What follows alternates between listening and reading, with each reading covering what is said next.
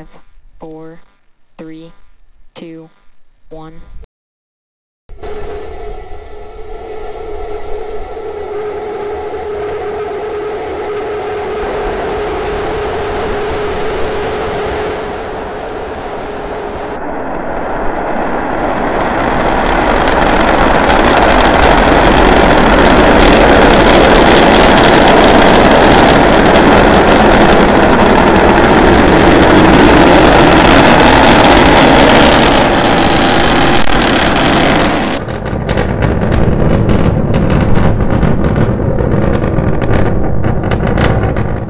Is at 10 kilometers.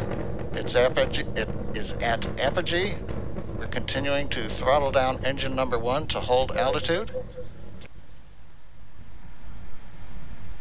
We're preparing for handover. As we are handing off to the LOX tank, we are beginning to flip to horizontal.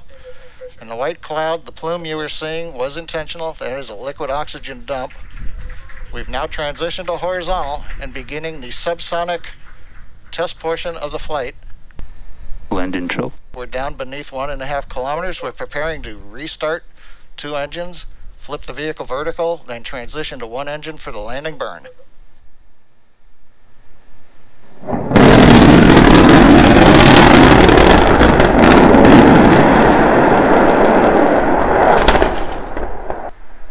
Oh, I see. Let's get cameras up. Rolling to anomaly net and opening 3.911 at this time. We will start sweeping for fires.